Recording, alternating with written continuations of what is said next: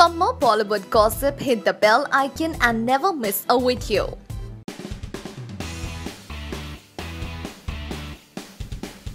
The makers of Tiger Zinda Hai have been teasing us with some or the other trivia from their film. After announcing that their Swag Se Karenge Sabka Swagat song would be out soon, the makers have shared yet another still from the song.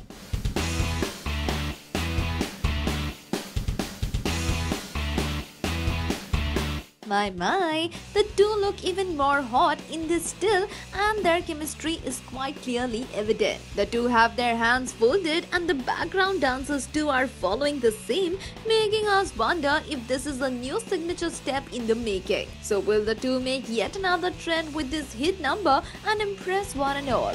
Do let us know.